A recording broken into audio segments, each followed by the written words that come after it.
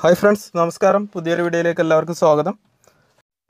നമ്മുടെ കിച്ചണിൽ നമ്മൾ ഒഴിച്ച് കളയാറുള്ള കഞ്ഞിവെള്ളം ഉപയോഗിച്ചിട്ട് എങ്ങനെ നല്ലൊരു ജൈവവളം ഉണ്ടാക്കിയെടുക്കാം എന്നതിനെ കുറിച്ചാണ് ഇന്നത്തെ വീഡിയോയിൽ പറയാൻ പോകുന്നത്. നൂറ് ശതമാനവും നല്ല റിസൾട്ട് കിട്ടിയിട്ടുള്ള ഒരു ജൈവവളം കൂടിയാണിത്. വീഡിയോ സ്കിപ്പ് ചെയ്യാതെ എല്ലാവരും മുഴുവനായിട്ട് തന്നെ കാണുക. വളം ഉണ്ടാക്കാൻ വേണ്ടിയിട്ട് നമുക്ക് തലേദിവസം കഞ്ഞിവെള്ളവും അതേപോലെ തന്നെ പച്ചക്കറിയുടെ പച്ചക്കറിയുടെ വേസ്റ്റുമാണ് എടുത്തിട്ടുള്ളത്.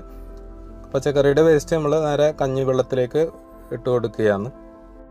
കഞ്ഞിവെള്ളത്തിലിട്ട് കൊടുത്തതിന് ശേഷം നമ്മൾ നന്നായിട്ടൊന്ന് ഇളക്കി കൊടുക്കുക. നല്ല രീതിയിൽ തന്നെ ഇളക്കി കൊടുക്കുക. പ്രത്യേകം ശ്രദ്ധിക്കുക പ്ലാസ്റ്റിക് ഒരിക്കലും ഉപയോഗിക്കരുത്. നന്നായിട്ട് ഇളക്കി കൊടുക്കുക. അപ്പം ഇതിന് പിന്നെ ഇതിലേക്ക് നമുക്ക് തേങ്ങയുടെ വെള്ളം ഉണ്ടെങ്കിൽ അത് ഒഴിച്ച് കൊടുക്കുക. വളരെ നല്ലതാണ് തേങ്ങയുടെ വെള്ളം ഒഴിച്ച് കൊടുക്കുന്നത്.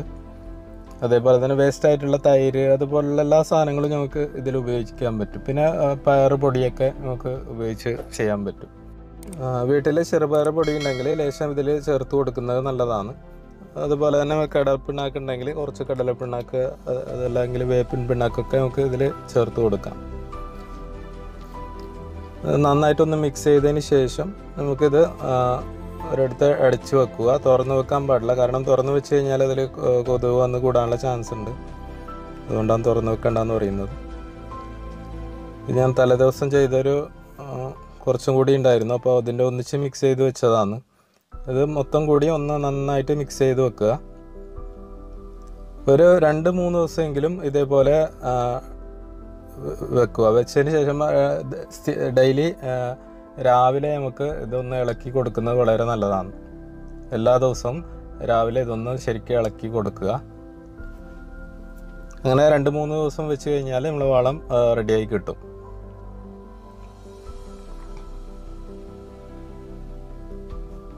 ഇപ്പോൾ മൂന്ന് ദിവസമായ വളമാണ്. ഇനിയിപ്പോൾ അത് നമുക്ക് പ്ലാന്റുകൾക്ക് എങ്ങനെ ഒഴിച്ചു കൊടുക്കണമെന്ന് നോക്കാം. ഇതിൽ നമുക്ക് ഇപ്പോൾ ഈ ബക്കറ്റ് ഒരു കാഭാഗമാണ് ഇപ്പോൾ വളമുള്ളത്. അതിൽ ഫുള്ളായിട്ട് വെള്ളം ഒഴിച്ച് കൊടുക്കുക. വെള്ളം ഒഴിച്ചതിന് ശേഷമാണ് നമ്മൾ ഇത് പ്ലാന്റുകൾക്ക് ഒഴിച്ചു കൊടുക്കുന്നത്. അതേപോലെ ഒഴിച്ചു കൊടുക്കരുത് ഒരിക്കലും. അത് ഡൈല്യൂട്ട് ചെയ്തതിന് ശേഷം മാത്രമേ നമുക്ക് പ്ലാന്റുകൾക്ക് ഒഴിച്ചു കൊടുക്കാൻ പാടുള്ളൂ. ഇപ്പോൾ ഇതിൽ വെള്ളം ഫുള്ളാക്കിയിട്ടുണ്ട് കാഭാഗമായിരുന്നു വെള്ളം ഉണ്ടായിരുന്നത്. അത് ഫുള്ള ബക്കറ്റ് ഫുള്ളാക്കിയിട്ടുണ്ട് ഫുള്ളാക്കിയതിന് ശേഷം നന്നായിട്ട് ഒന്ന് ഇളക്കി കൊടുത്തതിന് ശേഷമാണ് നമ്മൾ പച്ചക്കറികൾക്കാണെങ്കിലും അതേപോലെ തന്നെ ഫ്രൂട്ട്സിന്റെ തൈകൾക്കാണെങ്കിലും ഇത് ഒഴിച്ച് കൊടുക്കേണ്ടത്. പിന്നെ ഫ്രൂട്ട്സിന്റെ തൈകൾക്ക് ഒഴിച്ച് കൊടുക്കുമ്പോൾ ശ്രദ്ധിക്കേണ്ട ഒരു കാര്യം ചോട്ടിൽ ഒരിക്കലും ഒഴിച്ച് കൊടുക്കരുത്. ചോട്ടിൽ നിന്ന് മാറിയിട്ടായിരിക്കണം ഒഴിച്ച് കൊടുക്കേണ്ടത്. ചോട്ടിൽ ഒഴിച്ച് കൊടുത്തു കഴിഞ്ഞാൽ നമുക്ക് ഇതിന്റെ വേരുകളൊക്കെ ചീഞ്ഞു പോകാനുള്ള ചാൻസ് ഉണ്ട് അപ്പോൾ ഏത് വളമാണെങ്കിലും നമുക്ക് ചോട്ടിൽ ഒരിക്കലും ഒഴിച്ച് കൊടുക്കാൻ പാടില്ല. ഇതേപോലെ അതിന്റെ ചുറ്റുപാടുമായിട്ട് ഒഴിച്ചു കൊടുക്കുക. ഈ പ്ലാന്റുകൾ തന്നെ നമുക്ക് കണ്ടാൽ മനസ്സിലാവും. അത്രയ്ക്കും ഹെൽത്തി ആയിട്ടാണ് ഉള്ളത്. ഇത് പയറിന്റെ ചെടിയാണ്. ഇപ്പം നട്ടിട്ട് ഏകദേശം രണ്ടാഴ്ച ആയതേ ഉള്ളൂ. അപ്പോൾ നമ്മൾ സ്ഥിരമായിട്ട് കൊടുക്കുന്ന വെള്ളം ഇത് തന്നെയാണ്. പിന്നെ കടലപ്പിണ്ണാക്ക് കൊടുക്കുന്നുണ്ട്. അത് ആഴ്ചയിൽ ഒരിക്കലേ കൊടുക്കുന്നുള്ളൂ. കൂടുതലും സ്ഥിര ഒരു ദിവസം ഇടവിട്ട് കൊടുക്കുന്ന വളമാണ് ഇത് ഈ കഞ്ഞിവെള്ളം. നമുക്ക് ഈ വളം ചെയ്യുകയാണെങ്കിൽ നമുക്കൊരു എക്സ്പെൻസും ഇല്ല. നമ്മൾ വീട്ടിൽ തന്നെ പാഴായി കിടക്കുന്ന സാധനങ്ങൾ ഉപയോഗിച്ചാണ് നമ്മൾ ഈ വളം ഉണ്ടാക്കിയെടുക്കുന്നത്.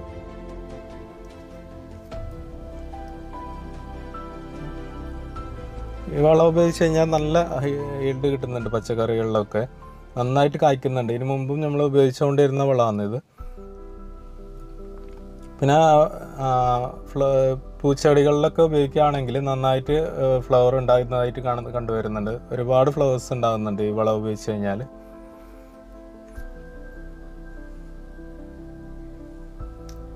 പച്ചക്കറികളാണെങ്കിൽ ഏത് പ്ലാന്റിൽ വേണമെങ്കിലും നമുക്കിത് ഉപയോഗിക്കാൻ പറ്റും.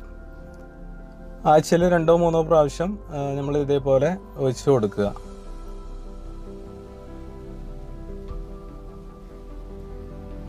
പിന്നെ അതിന്റെ വേസ്റ്റോട് കൂടി നമുക്ക് ഒഴിക്കാൻ പറ്റും. വേസ്റ്റ് വേറെ കമ്പോസ്റ്റ് ആക്കുന്നുണ്ടെങ്കിൽ അതിന്റെ വേസ്റ്റ് ഇടാതെ ഒഴിക്കുക. ഇതിന്റെ ചണ്ടി ഉണ്ടാവുമല്ലോ. ഇത് നമ്മൾ ലിക്വിഡ് ആയതിന് ശേഷം അതിന്റെ പച്ചക്കറിയുടെ ഒക്കെ വേസ്റ്റ് അടിയിൽ അടിഞ്ഞു കൂടുന്ന കൂടിയിരിക്കും. അപ്പോൾ അത് ഉപയോഗിച്ച് ഒരു വളം ഉണ്ടാക്കാൻ പറ്റും. അപ്പോൾ അപ്പോൾ ഇതിൽ ബക്കറ്റിൽ അടിഞ്ഞു കൂടിയിരിക്കുന്നതിന്റെ വേസ്റ്റ് വേണമെങ്കിൽ നമുക്ക് ഇതിന്റെ ചോട്ടിലിട്ട് കൊടുക്കാം. അതല്ലെങ്കിൽ നമുക്കത് ഉപയോഗിച്ചിട്ട് നമുക്കൊരു കമ്പോസ്റ്റ് ഉണ്ടാക്കിയെടുക്കാം. അതെങ്ങനെയാണ് ഉണ്ടാക്കുന്നതെന്ന് ഞാൻ അടുത്ത വീഡിയോയിലൂടെ നിങ്ങൾക്ക് പറഞ്ഞു തരുന്നതായിരിക്കും അപ്പോൾ വീഡിയോ ഇഷ്ടപ്പെട്ട് കഴിഞ്ഞാൽ ലൈക്ക് ചെയ്യുക കമന്റ് ചെയ്യുക അതേപോലെ തന്നെ വീഡിയോ നിങ്ങളുടെ കൂട്ടുകാരിലേക്ക് ഷെയർ ചെയ്ത് കൊടുക്കുക. നമ്മുടെ ചാനൽ ഇതുവരെ സബ്സ്ക്രൈബ് ചെയ്യാത്തവരാണെങ്കിൽ പെട്ടെന്ന് തന്നെ ഒന്ന് സബ്സ്ക്രൈബ് ചെയ്ത് തൊട്ടടുത്തുള്ള ബെല്ലൈക്കൺ കൂടി ഒന്ന് എനേബിൾ ചെയ്ത് കൊടുക്കുക. നമ്മളോട് അപ്ലോഡ് ചെയ്യുന്ന ഓരോ വീഡിയോസും നിങ്ങൾക്ക് നോട്ടിഫിക്കേഷനായി ലഭിക്കുന്നതായിരിക്കും. പുതിയൊരു വീഡിയോയുമായി കാണുന്നവരായിരിക്കും ബൈ